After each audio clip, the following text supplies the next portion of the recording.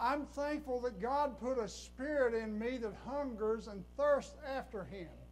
That tonight I'm on loan to you from the Hurricane Nazarene Church. I think everybody should have a home church that they are fully committed to to do their ministry, and I'm here on my pastor's permission, just so you'll know. But I am glad to be here tonight. I'm among friends and I'm among Facebook friends, and I've got to know Pastor Tim more through Facebook than anyhow. Uh, but I'm glad to be here with you tonight and glad to bring you the word that the Lord has given to me. When uh, Pastor Tim contacted me, I was excited in my spirit. It didn't work out the last time we were going to try to get together. My schedule was off, and, and so I was excited to get to come back, Pastor Tim, and I'm thankful for that. I'm thankful that I felt the Spirit of the Lord deal with me about the message tonight. You see, I don't want to be an old donkey just baying in the wind, but I want to be a servant of the Most High God, anointed in the power of the Holy Ghost to speak what thus saith the word of the Lord and how He wants it said while we're here. I believe He knew who was going to be here tonight. I believe He knew what you needed. I believe He knew what I needed. And I believe if we're obedient tonight, we can go away rich in the blessings of God. Amen. Man, I tell you, I feel the preacher man already, but I've learned to not get in a big hurry and to just wait on the Lord. I, I really enjoyed what Pastor brought to us and, and how important it is for us to understand the church has probably killed and run more people off out of the church than anybody else. Can I get an amen from somebody?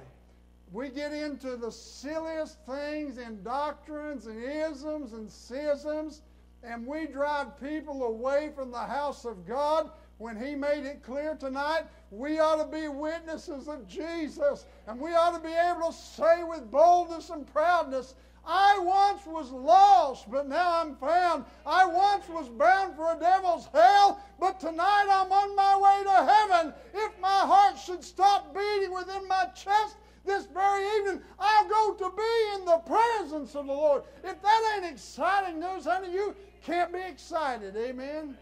Amen. I'm glad my foot's on the rock, and it may slip every now and then, Overly, but he said it was a firm foundation that I could stand on, that when the winds and the waves come blowing my way, I can still stand. Amen. Glory to God. I'm glad for salvation. I'm telling you, I'm glad that one day He picked me up out of the old miry clay and, He cleaned me up and He set me on that rock. But I want to tell you, there have been those times I've had to go back and get right again. Can I get an amen from anybody? You know, we got a lot of people believing that they can't be good enough to be Christians. Guess what? They can't be. But the blood of Jesus can wash away the sin and cause us to be justified, sanctified, and glorified to be able to sit in heavenly places that I can come, you can come boldly into the throne room of grace and find an ever present help in the time of need. That's the Word of God, is it not? Well, that's not what I'm going to preach tonight. I just feel the preaching man tonight. How's that? Woo! That feels good. I tell you, we ought to do a little more shouting. We got every reason to be excited, every reason to be happy. We've got every reason to be joyful. Amen. Whoo! I'm going to try to get to Nehemiah chapter 8 here just in a minute. If you want to try to get there with me, that'll be fine. Nehemiah chapter 8. Now, I'm going to read little bits at a time of all 18 verses of the eighth chapter. Before we get into that, though, I want to just kind of give you a little bit of heads up. Most of your Bible scholars, you already know this, but I just got to lay the groundwork a little bit. There was a man named Ezra who uh, went back to the destroyed city of Judah. The walls had been broken down, the houses and the buildings and the temple had been destroyed. Why? Because God told them. He said, In the day that you turn from me, My blessings will not be with you. And God is long suffering. How many knows God's long suffering? Can I get an amen from somebody? God is long suffering. But if you continue in sin, there has to be a cost for that sin. Amen. And Judah had been destroyed and they had been in captivity. And uh, so, 14 years before uh, Nehemiah here, Ezra goes back and he's starting to be the minister of the Word. He finds the scrolls and he begins to read to them the Word of God, and he begins to try to do what he can to bring spirituality back inside those broken walls. How many know today we need a man of God who will stand inside our broken walls and preach what thus saith the word of the Lord? You don't need my doctrine. You don't need my isms and schisms. You need what thus saith the word of the Lord. We've got guys that are doing every kind of thing to try to entertain people to get to church, and people still ain't coming to church. But, honey, when you set them on fire with the Word of God, they'll come to the house of God. Amen. So Ezra's there doing a work. Nehemiah happens to be the cupbearer for, um, let me get this name right, Artaxerxes, the king who is the captive king who's in control. How many knows that you can be blessed even when you're oppressed? Oh, wait a minute. Y'all went too light on me. How many knows you can be blessed when you're oppressed? Let me tell you, in the last 12 months, I've, buried my hero, my grandfather, almost 100 years old, one of the greatest preachers in the world. I've buried my mother, I've buried my uh, stepfather, I, have buried friends. But I want to tell you, the joy of the Lord is still my strength. Because I tell you this I'm going to heaven. I'm going to heaven. And the gates of hell shall not prevail against us that are the church of the living God. Amen. Chapter 8, Nehemiah, if we could read just a little bit. Now remember, Ezra's already been there. Ezra's already doing a spiritual work, but God has set Nehemiah in a place of opportunity. Now, I want to ask you tonight, before I go any farther, do you believe that one man, one woman can make a difference? Do you believe that? You have an example in your church. You have many examples in your church, but I'm going to embarrass her just a little bit.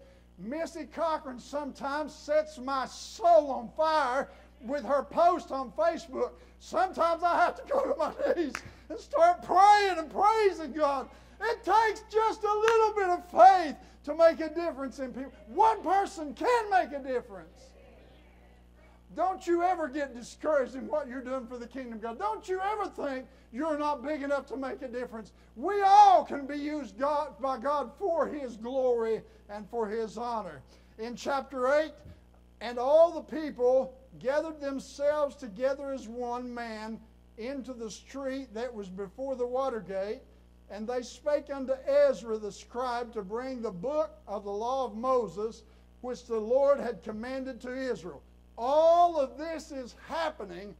All of this is happening because one man, Nehemiah, was set in power before Artaxerxes uh, Xerxes, and is able to get a release to start rebuilding the wall, the wall of the city. Not only does he get the release, but he gets the finances. How many do you know that the Lord will cause the enemy to cause you to have increase, to do good for the kingdom of God? Do you know that if God will, if we will be submissive to what it is God wants to do in our lives, He will give us blessings from the strangest places to be used for the kingdom of God. Amen. Amen. So here, this cupbearer, Nehemiah, has been before the king and he's weeping. Why is he weeping? Because the Lord's moved on his spirit to cause him to weep. And he's weeping before the king. Now, the cupbearer, you have to understand the importance of the cupbearer. The cupbearer is the difference between the king living and dying. because back then they were so bad about the opposition to put poison in the king's drink and to kill him. So the cupbearer made sure what the king was drinking was good, even to the point that sometimes the cupbearer was requested to drink the first drink of it that the king would know that it was good for him to drink from. And there was a relationship built there. When somebody's got your back, you build a relationship, right? And so Nehemiah has built a, a relationship with king, and so he asked him why he's weeping. And he said, Well, I have to be honest with you, King. He said, My people are sitting in ruin, and they're not able to even live in their houses in good condition. And I'm hurting for my people. And the king give him favor. And so he goes back. And if you read uh, chapters 1 through 7, you know already that they go back, and Nehemiah is very much aware of his enemies in, in the area. And so he begins to examine the wall around Judah, and he begins to see what needs to be repaired. And I want to tell you, it looked big. The repair that needed done was great, but how many knows little is much if God is in it? And Nehemiah believed God had set him in place in power and given finances even of the captive king to rebuild the wall. It takes one man to light a fire.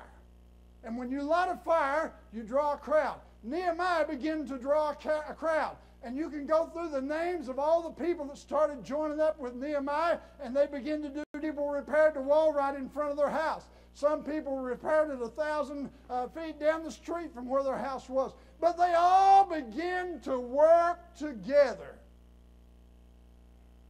Woo! Woo! Can I say that again? They all began to work together.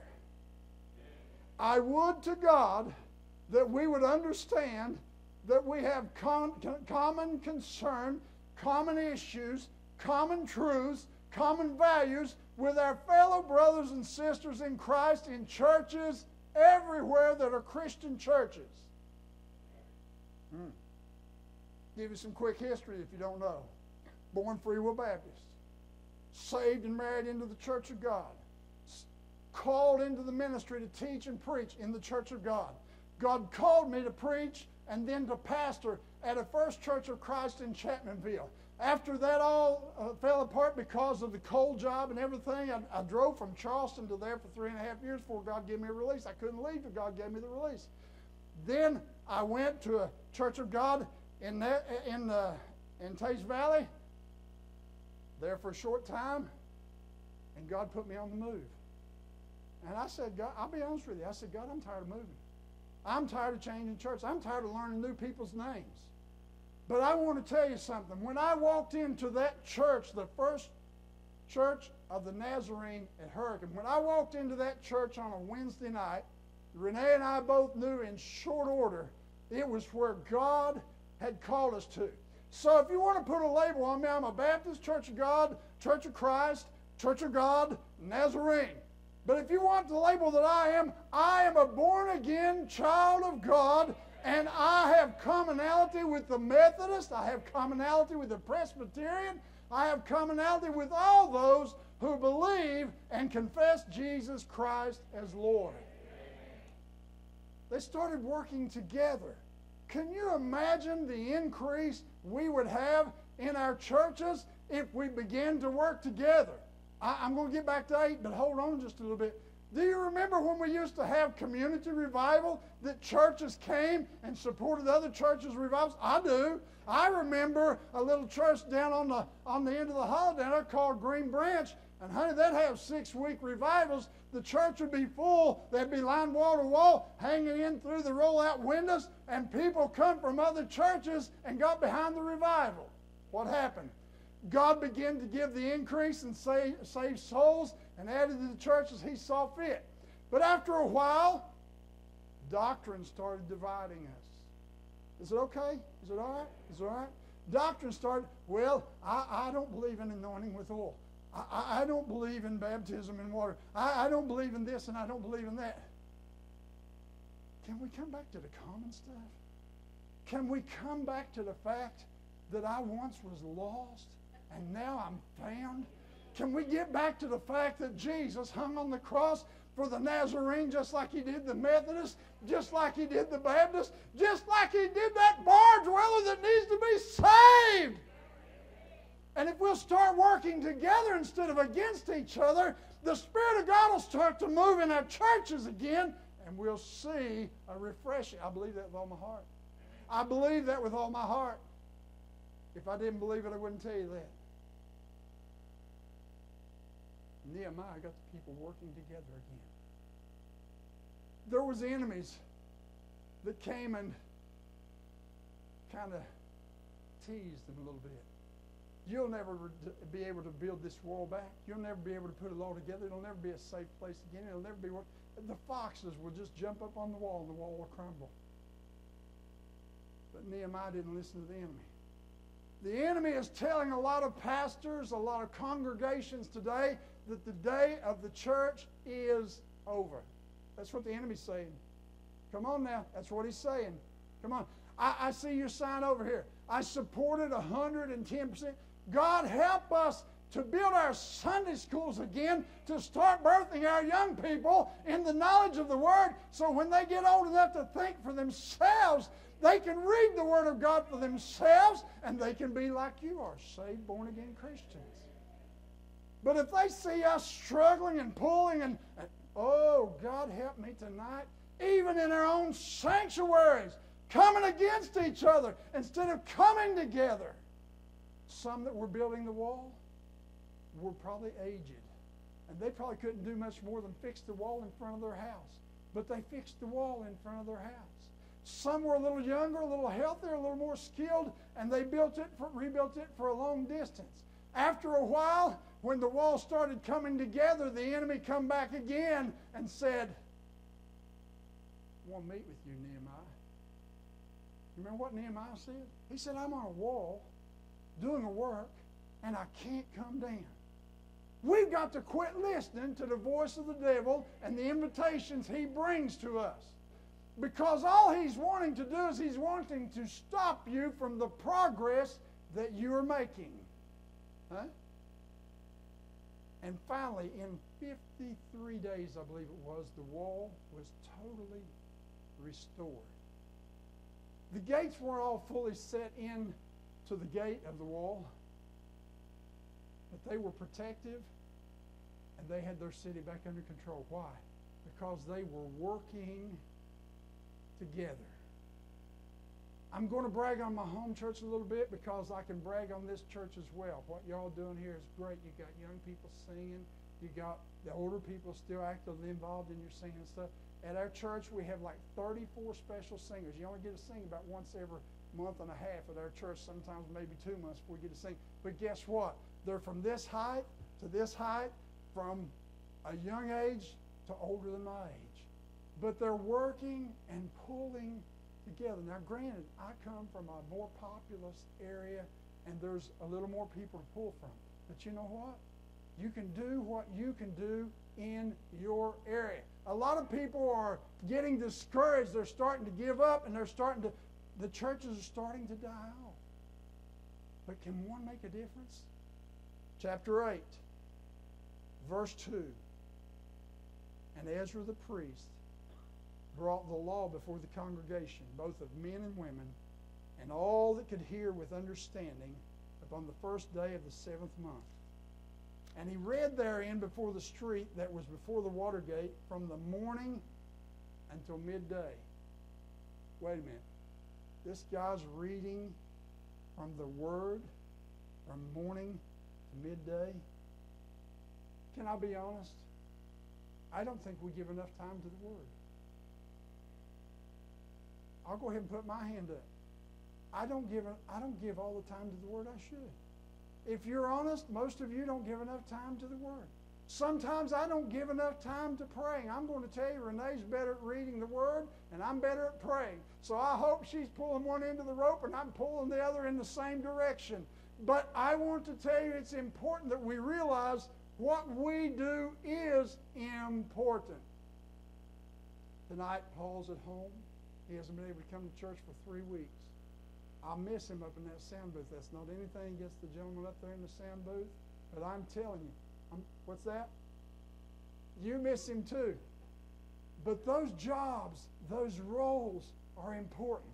You think because you maybe sit on a pew and, and you don't do anything up here on the stage, you're not important? You're very important. Tonight, when I come through the door, people who are sitting on pews come and shook my hand, told me they loved me, told me they missed me. You know what that did? That pumped me up and encouraged me. Can you imagine if we got more regular about inviting people in and encouraging them when they got here, how our church would grow? And he read therein before the street that was before the water gate, from morning until midday. Before the men and women and those that could understand, and the ears of all the people were attentive unto the book of the law. And Ezra the scribe stood upon a pulpit of wood. Now I want you to catch this next line, which they had made for the purpose. They wanted a place for the anointed man of God to be able to stand and read to them the Word of God. It's important that we get behind the anointed man or woman of God. It is so important.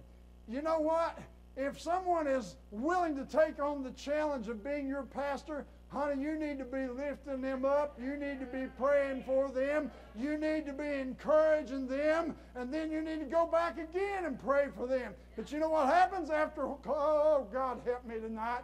We get familiar. Huh? Huh? Come on, Tim, is it okay? We get familiar and it's kind of like, well, Tim will preach this or he'll preach that, or, or, you know, I, I really didn't like the way Tim preached last Sunday. Did you pray for him when you went home? Instead of talk about him.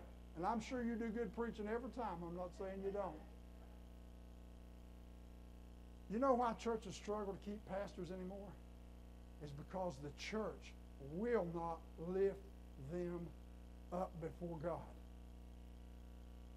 I'm telling you, you ought, you ought, you ought to pay them the workman's worthy of their hire. You ought, you ought to honor their position or whatever. But the most important thing you can do is lift your pastor up continually before the throne of God. Now, I just come out of revival at our church, and Dr. Nelson Purdue was there, and I'm going to tell you every night, Bill Runyon was sitting up on the edge of his seat. He was a 77 year old man who was very knowledgeable in the Word and very anointed.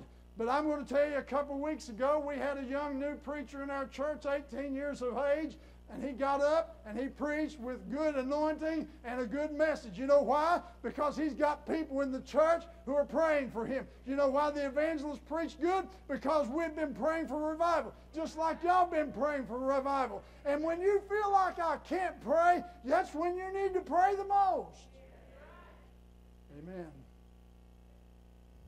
And Ezra the scribe stood upon a pulpit of wood which they had made for the purpose. And beside him stood Mattaiah and Shema and Ananiah and Urijah and Hilkiah and Maaseiah on his right hand, and on his left hand Pedaiah and Mishael and Micah and Hashum and Hashbadana, Zechariah and Meshullam. Now those were tough names for me. When I was studying that, you know what the Holy Spirit brought to me? Some of those guys might have been his friends. Some of them might have been his family. In fact, if you go back and look, some of them were his family. But some of them might have been those who didn't support him or stand with him whenever their nation was in struggle. Huh? We don't always all agree on everything. Huh? We don't always agree on everything. We may not agree on the same brand of car. We may not even agree on the same kind of clothes. We might not agree on the same kind of food. But, honey, we ought to agree together when we come to the house of God that what is important in the house of God is that we are of one mind and one accord, lifting up the name of Jesus. And this is happening here because they've suffered because of disobedience. They've suffered because of backstabbing, cutting throats not being supportive. Bill, how can you say that? The Holy Spirit told me to tell you that. How can I say that?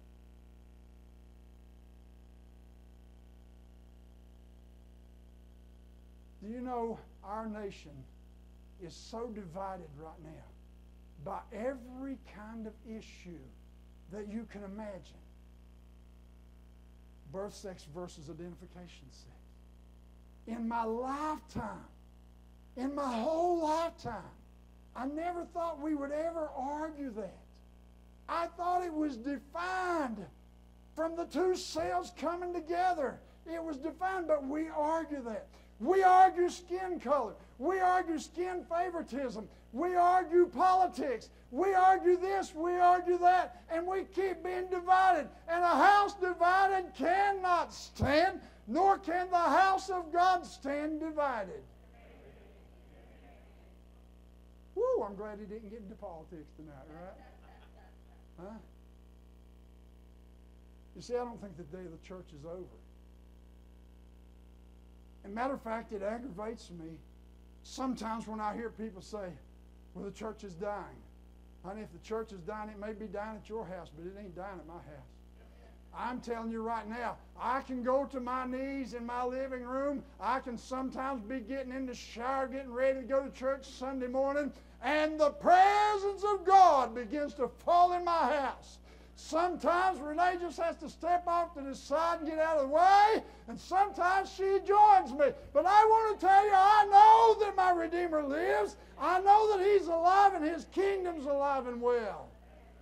And if you want to get under my skin quick, start telling me the church is dying. Glory to God. Somebody would say that.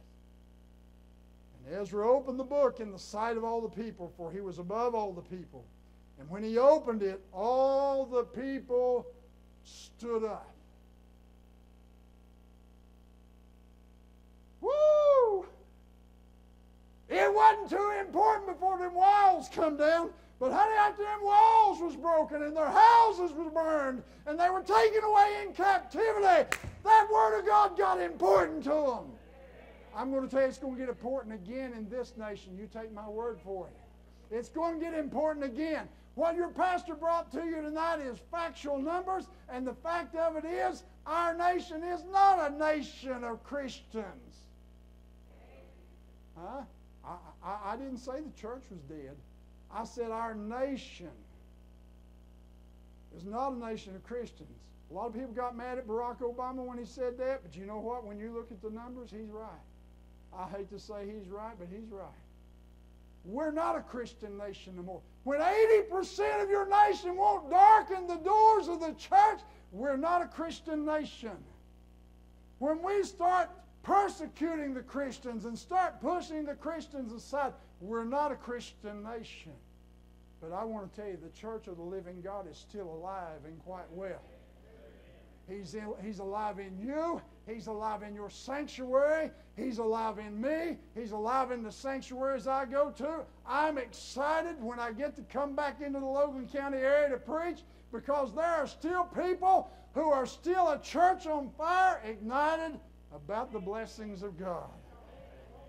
Woo. And Ezra blessed the Lord, the great God. And all the people answered, Amen, Amen, with lifting up their hands. Oh, can I stop there a minute, please? Can I please stop there just a minute? Back when I was a kid going to church at Landville Free Will Baptist Church, honey, there's a little lady there called her name was Effie McDaniels. And her and my grandma, when the Spirit of God would start moving into Free Will Baptist, Effie would start doing a little number like this right here, and she'd be going around, woo! Praise the Lord. She had something. My granny, I didn't know my granny had knee length hair until one night when she was a shouting in the church and all them bobby pins come out and they dropped down in the back. We need to be bold in the Spirit of God. We need to take off those shackles that have us bound and worship God in spirit and in truth. Woo! With the lifting up of their, oh God, okay. How many of don't raise your hand, just, just, just know that this one's for you. How many of you sometimes are sitting in church, good songs being sung, a good message is being preached, and the Holy Spirit says, Won't you just raise your hand up to about right here? Huh? Come on, come on. You know what I'm saying? You know where I'm going. And it's kind of like, well, I really don't feel that way today. Honey, until you raise that hand, you won't feel that way. If the Holy Spirit's having you to raise that hand, raise it. You know what'll happen when you raise it that high? All of a sudden you'll see that one go up. And then you can't get them high enough, and it's kind of like this. And then you start that percolating stuff. Woo! Woo! Kind of like Sally does. Woo! Glory to God. Hallelujah. Praise the Lord. Are you ashamed to shout anymore? Huh? We need to be excited about what it is we got. Lifting up their hands, and they bowed their heads. And we didn't say revival was for the church, didn't we? Woo! They bowed their heads and worshiped the Lord with their faces to the ground. Woo! I just got to do it, Pastor.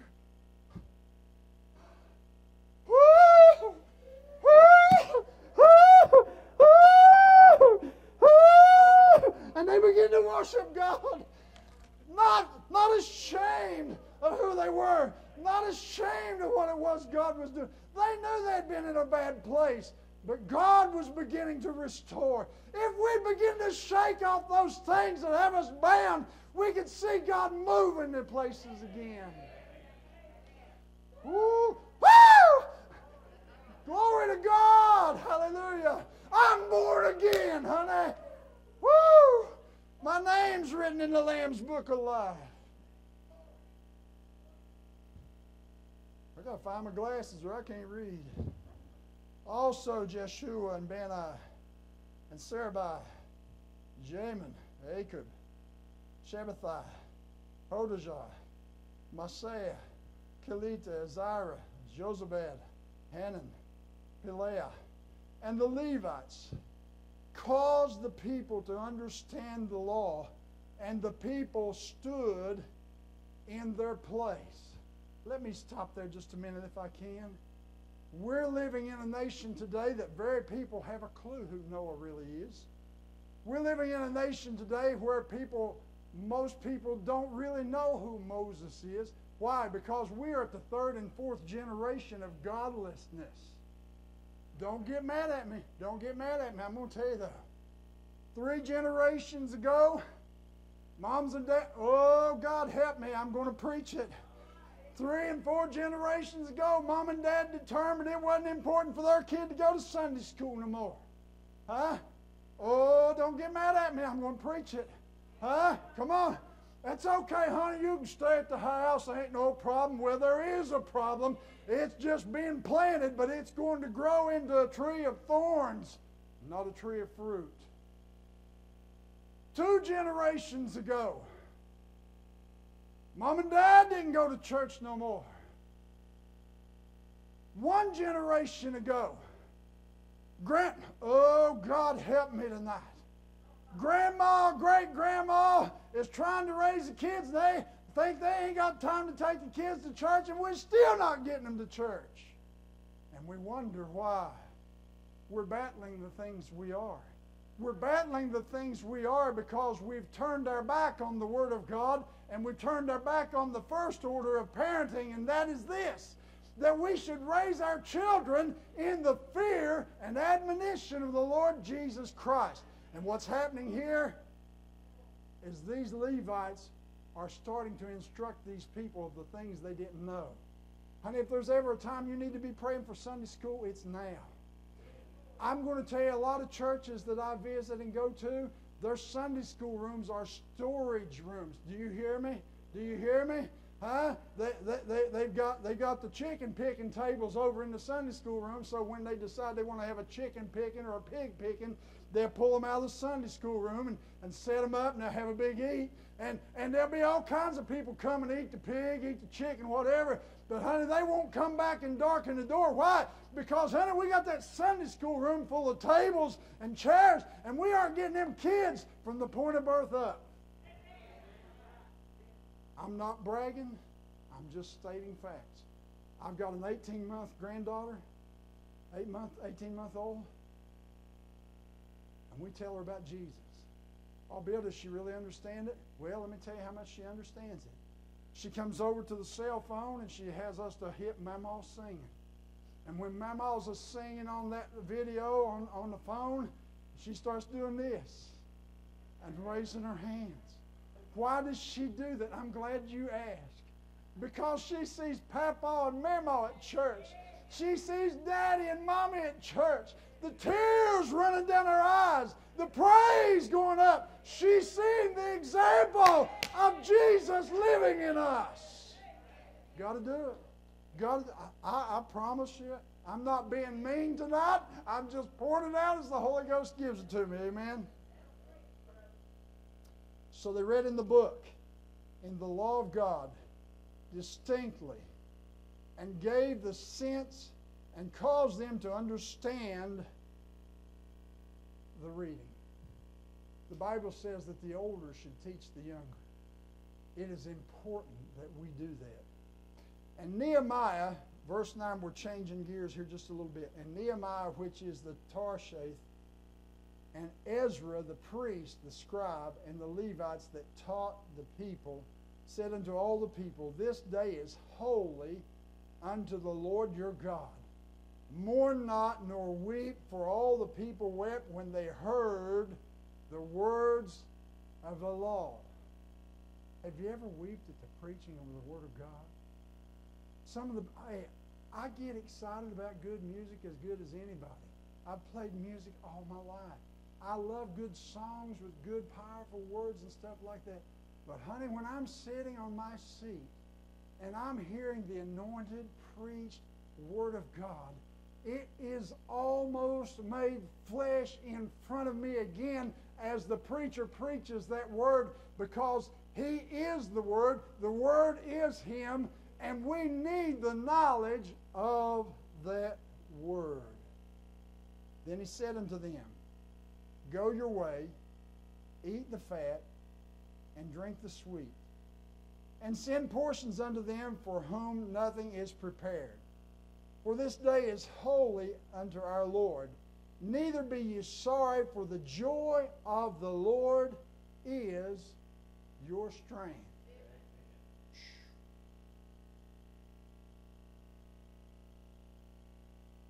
Well, I got to do it. Do you know the difference between a testimony and whining? Huh? Huh? Huh? A testimony only, hear me, a testimony only glorifies God. Come on.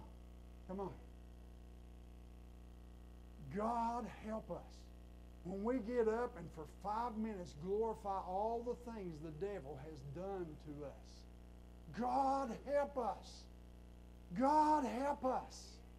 Honey, I've had a bad week this past week during the middle of a great revival. I don't need to tell you what the devil did to whoop me because I enjoyed the Lord. I'm going to tell you how good I enjoyed the Lord this week. Huh? Huh? My bus broke down three times this week. You ever a bus driver, you know that's a bad day. But the joy of the Lord is my strength. Amen.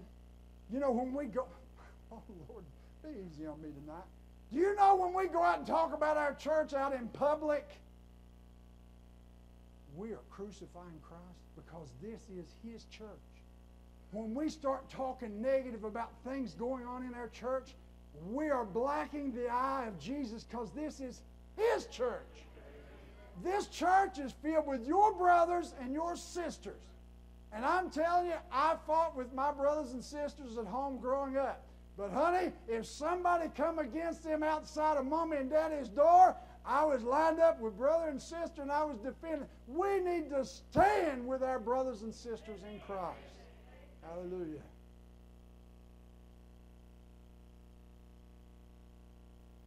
So the Levites stilled all the people, saying, Hold your peace. For the day is holy, neither be ye grieved. And all the people went their way to eat and to drink and to send portions and to make great mirth, because they had understood the words that were declared unto them. We got five verses to go. Six.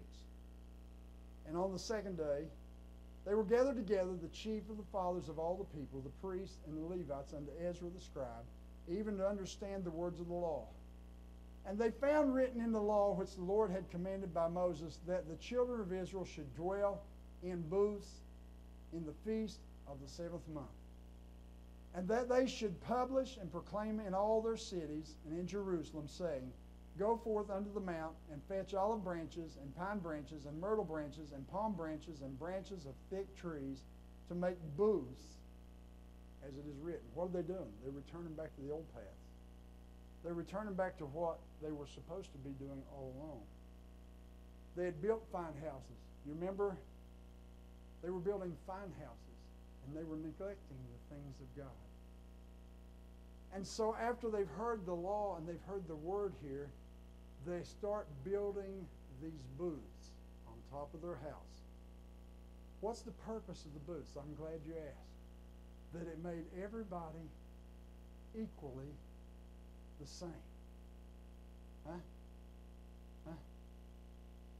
I'm no, no more important in the kingdom of God than you are. You're no more important in the kingdom of God than pastor. Pastor's no more important in the kingdom of God than anybody in this church. Pastor that I sit under for many years said the ground is level at the foot of the cross. Do you know the best way that the devil slips in as he, as he starts letting us uh, enjoy our blessings and we start getting prideful and we start thinking we're something because, hey, I drive a Tahoe. You only drive an Escape. I, I come on, come on, come on, come on, uh, come on, come on. Let's get down to where it's at. I've got six zeros on my bank account with a number in front of it, and you got zeros in your bank account. That's what happens. Pride moves in and we start elevating ourselves. And it said, you need to go back and build these booths. And you need to get sincere in your worship. Honey, I don't care if you've got a zillion dollars or if you ain't got a penny. If you're covered by the blood of Jesus Christ, you've got everything you need. Amen?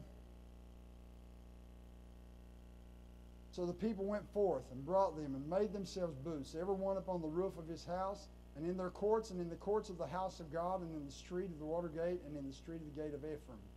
And all the congregation of them that were come again out of the captivity made booths, and sat under the booths, for since the days of Joshua the son of Nun unto that day had not the children of Israel done so.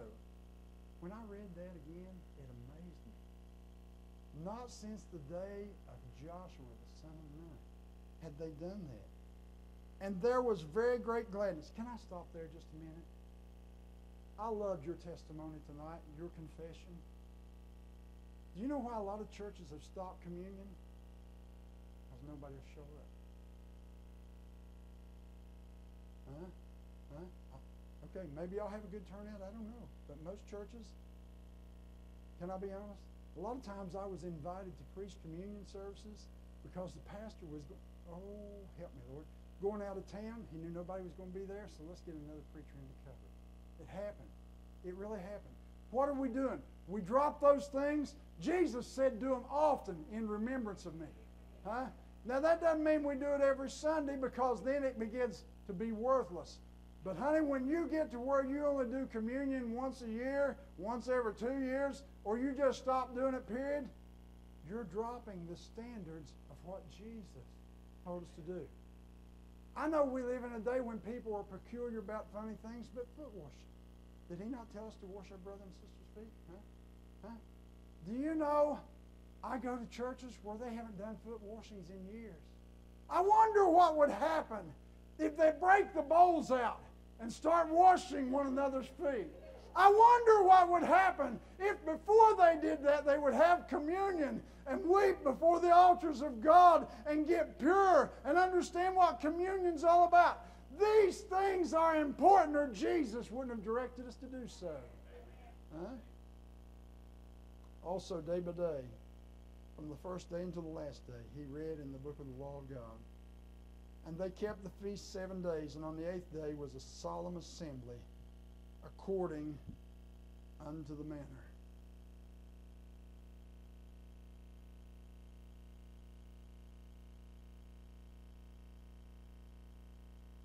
I once was a young man, and I saw great moves of God in churches, and I saw faithfulness in those churches. I saw and heard the shouts. I watched them run the aisle. Honey, those people wouldn't have done that within themselves for anything. They were honorable, good, praying, hardworking Christians.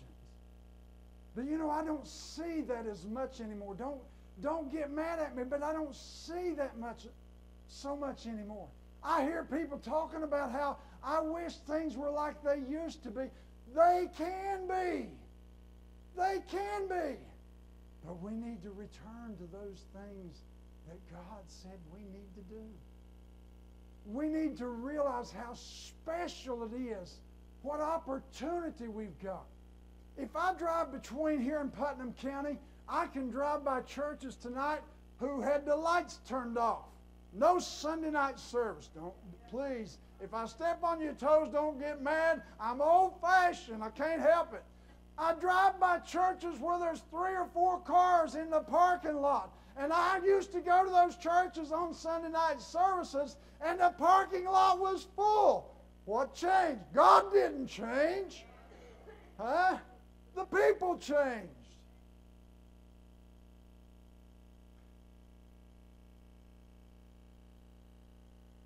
I wish you'd ease up on me just a little bit.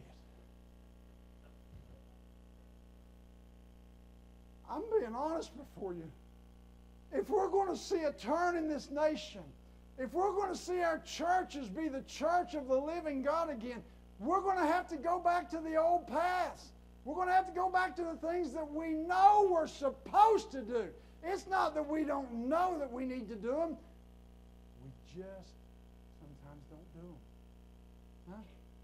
We know we should read the Bible every day. Is that a question? No. We know we should pray every day. That's not a question. We know we ought to have communion. We know we ought to have revivals. And don't get mad at me. But, honey, I went to two week revivals when I was a kid growing up. Huh? Now, I know work schedules were different then. Don't get me wrong. But let me ask you when they nailed him to the cross, is it worth your commitment to support your church's revival more than Friday night, Saturday night, and Sunday night? Ooh, God. Huh? Is it worth you coming to choir? Pra- I know I'm probably going to. I know I'm going to step on some toes, but I can't help it. Is it was the love that Jesus had for us worth going to choir practice? Was it worth saying, "I'll teach us Sunday school. I'll push until Sunday school happens"? Is it worth studying the Word of God and maybe being called to preach or help you, Lord, pastor somewhere? Revival is for the church. We in the church, I'm not picking on Claypool, I'm talking about the church. We need a revival in America. When 49%, I believe you said, said, I'll go back to church when somebody invites me. God help you, you ain't inviting somebody to church. Woo.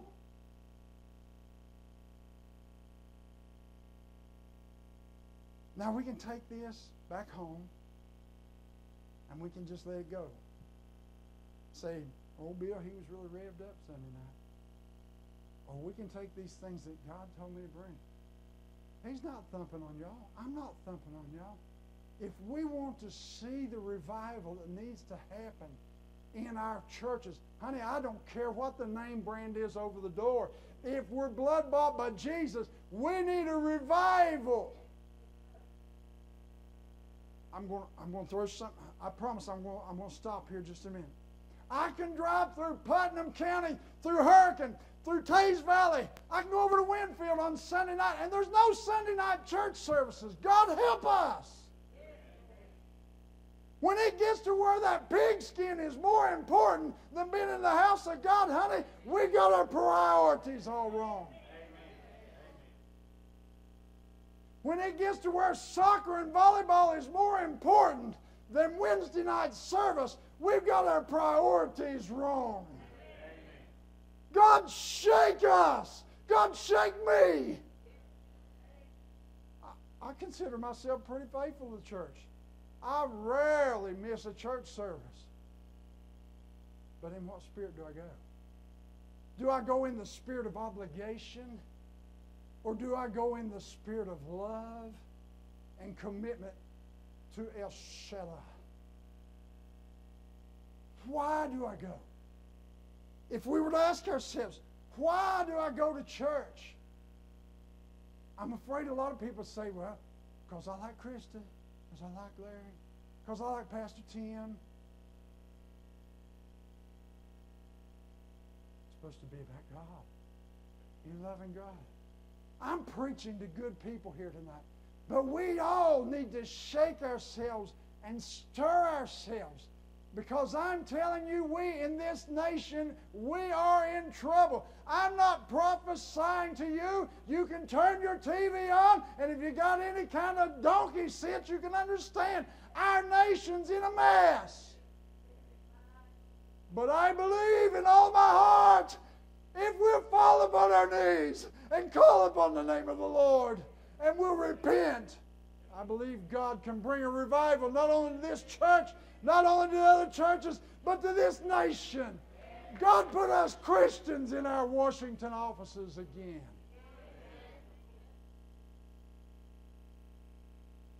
We probably ain't had one of them in a long time.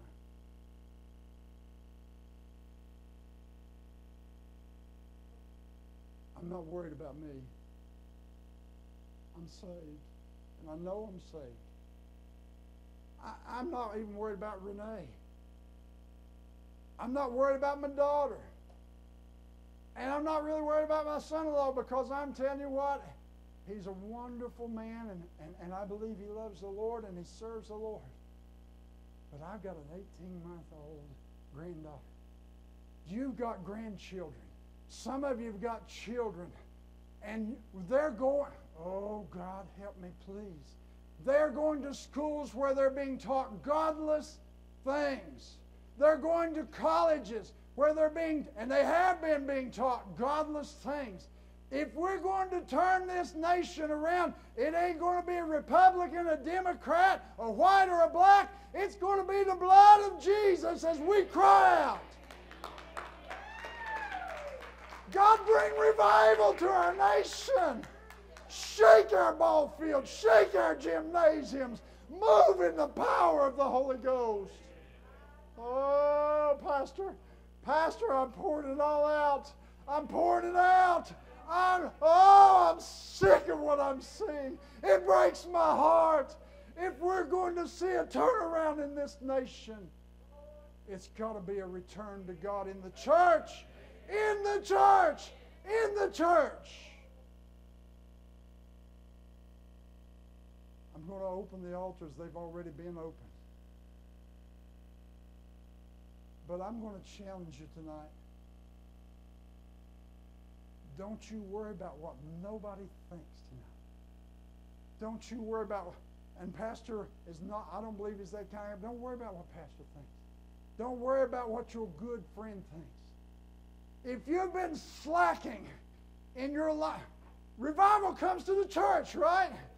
If you've been slacking in your life, here's where you need to bring it And you need to crucify